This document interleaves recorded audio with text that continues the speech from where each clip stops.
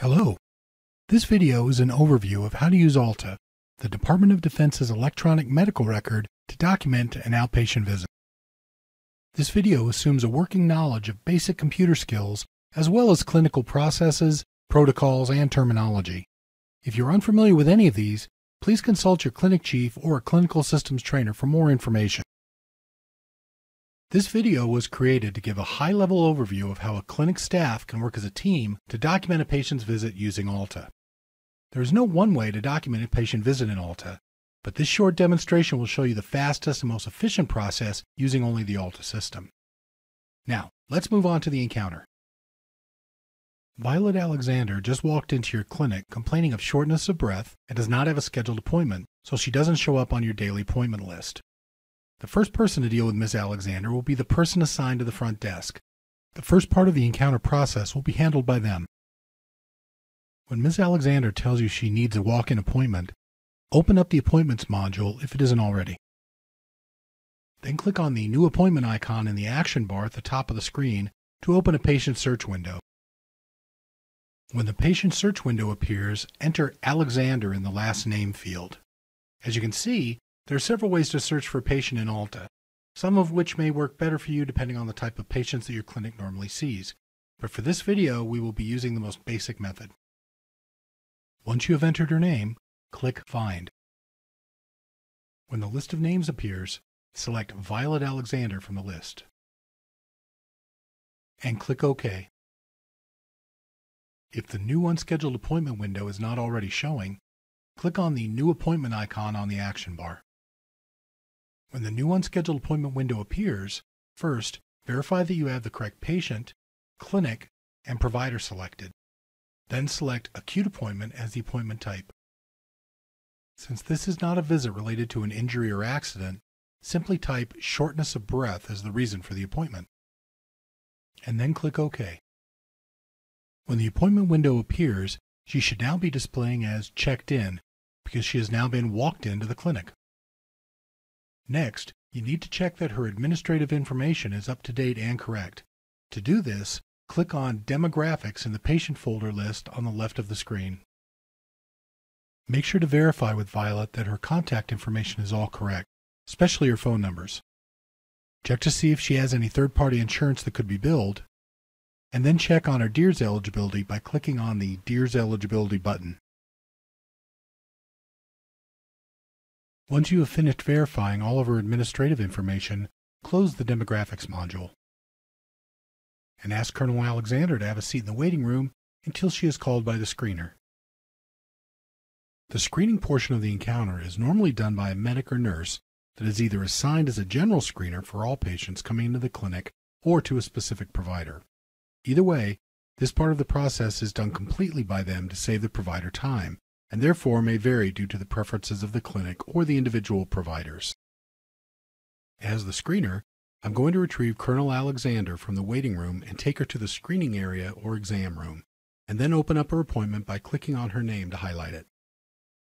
And then clicking on the Open Appointment icon in the action bar. Please note that you could also simply double click on her name to open her appointment, but if your mouse slips and you accidentally open another patient, it not only can cause administrative problems, even if you catch it immediately, but it is also easier to start documenting on the wrong patient, which can become a real nightmare. So for safety's sake, use the icon bar instead of double clicking. You'll be glad you did. When the current encounter module appears, verify the patient's name and date of birth with them using the information in the patient ID bar. Then click the screening button to open the screening module. Once the screening module opens, the first thing that you should do is verify any allergies that the patient has and document any possible new ones. To do this, click on the nose icon on the far right of the patient ID bar to open the allergy module. When the allergy module appears, you'll notice that any allergies that are listed in red have not been verified yet. After reviewing each allergy with the patient, select it then hit Verify on the action bar to verify within the system. This will cause the text to turn black. If it doesn't, then it has not been verified.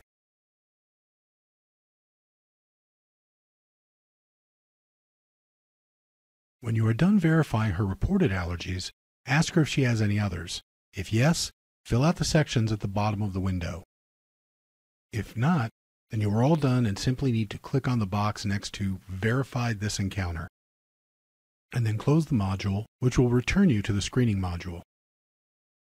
Next, take a moment to document female data by asking if she is pregnant. She tells you she isn't, so enter the date of her last menstrual period. When you are done entering the required screening data, click OK to both save it and exit out of the module. Once you are back in the Current Encounter module, click on the Vitals button to enter current vital signs into the note, and enter vitals in the appropriate fields.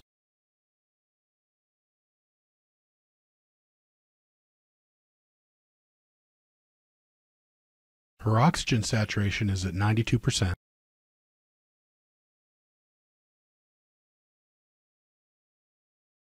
which is a little low, so AHLTA asks that you verify that it was reported correctly. Her peak flow is 300. She doesn't smoke, but she drinks alcohol occasionally. And her current pain level is a 3 on a scale of 1 to 10, and it's located in her chest. Now that you've recorded all of Colonel Alexander's vitals into the note, click OK to both save the data and close the module. Notice that her appointment status has now changed to waiting. At this point, you can notify the provider that she's ready to be seen. Colonel Alexander is now ready to be seen by the provider. At this point, it's important to mention that this video shows the bare minimum for provider documentation. Your personal preferences and clinic policy will dictate how you handle things, but the simplified process that we show you here should satisfy most situations. Prior to meeting with the patient, check the appointment module to verify that she is listed as waiting and therefore ready to be seen. To open the encounter note, highlight her name and click Open Appointment on the action bar. Although it's not required before you begin documenting in the SOAP note, it's a good idea to start by calling up the patient's health history module for a quick overview of their past complaints, labs, RADs, and meds. To do this, simply click on Health History in the folders list. As you can see, the Health History module provides a short but complete list of pertinent information on the patient that's easy to scan prior to beginning the diagnostic phase of the encounter, such as a problem list, allergies, meds, recent labs, radiology results, and so on. When you are done reviewing the health history, simply close it out to return to the current encounter. Before you open the note portion of the encounter, you can view the current screening and vitals information. This is also a good time to verify the entries with the patient, as well as question her about her current issue. To open the SO portion of the note, simply click on the SO button within the Encounter module. When the SO Note module appears, go to the Template drop-down list and select a template to assist you in writing your note.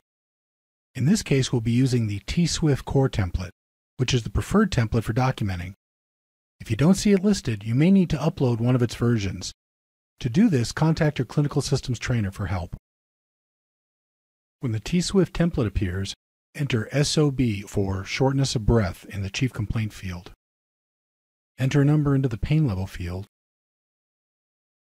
along with any other HPI items you may want to document.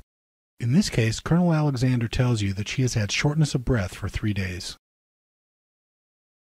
For the purposes of this video, we will not be doing an ROS or a PE, but both can be opened by simply clicking on the appropriate tab near the top of the module. When you are done with the SO portion of the note, click the AP icon on the action bar to open the AP module. Notice that when the AP module opens, it defaults to the Diagnosis tab. This is because all orders must be associated with the diagnosis to be entered, even if it is a preliminary diagnosis. If you had a unique diagnosis, you could do a search for it using the search function, but in this case, let's simply click on the Favorites button and select Upper Respiratory Infection from the list that appears on the right. Then click on the Add to Encounter button below it, and the diagnosis should then appear at the top of the screen. Next, let's order a lab by clicking on the Order Lab tab Choose a lab by entering its name in the search field, clicking on the search button, If there are any options associated with it, choose one and click the Submit button. To order an X-ray, first click on the Order RAD tab. As with any of the tabs in the AP section, you can search on any term you need, but since we are going to order a chest X-ray, we will simply do a search for the word chest. Choose the appropriate option. Enter a clinical impression of severe bronchial wheezing, and then click the Submit button. Process from this point forward will vary depending on your personal preferences and the patient's particular issue. But for the purposes of this video, let's say that you are going to have her go get her labs and chest x-ray done so you can read them prior to prescribing her any meds and completing her note. To close the AP and the encounter modules without closing and signing the encounter itself, simply click on the close buttons on the action bar for each module. When you return to the appointments window, you'll notice that Colonel Alexander's status is now listed as in progress. She will remain this way until you finish and sign off on the note. Once Colonel Alexander has visited both the lab and radiology, and the results are available in AHLTA, you or your designated representative can review them in the appropriate modules. In this case, it's confirmed that she has a URI and you need to order medications. To reopen Violet Alexander's appointment, make sure that it is her name in the patient ID bar and then click on the Open Appointment button in the action bar. When the Current Encounter module appears, scroll down and click on the AP button. To order her med, click on the Order Med tab, type the name of the med you want into the search field, click on the Search button, choose the specific medication you want to order from the drop-down menu, type out the appropriate SIG, You'll notice that AHLTA automatically shows the expanded SIG as you create it. Fill out the quantity and number of refills, and then submit it in the same way that you submitted your labs and RADs. If you want to include a plan or comments, you can do so by clicking on Plan and Comments just below the diagnosis. When the window appears, add your comment, and click the OK box to save it. Since we don't have anything else to order, we will move on to the Disposition module to close out the encounter. We'll do this by clicking on the Disposition button on the action bar. When the disposition module appears, choose Follow Up with PCM and enter one week by using the drop-down calculator next to the When field.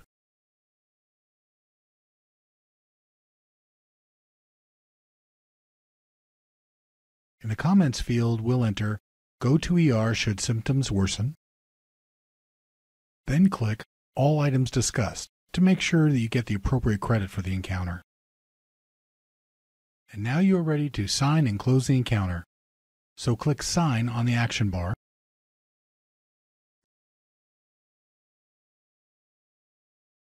And sign it.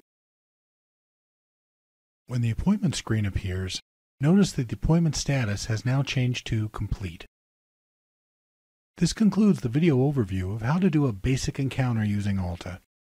As we mentioned throughout this video, there is no one way to use AHLTA, but following this general process will help to spread out the documentation duties among your staff and allow patient flow to be that much more efficient.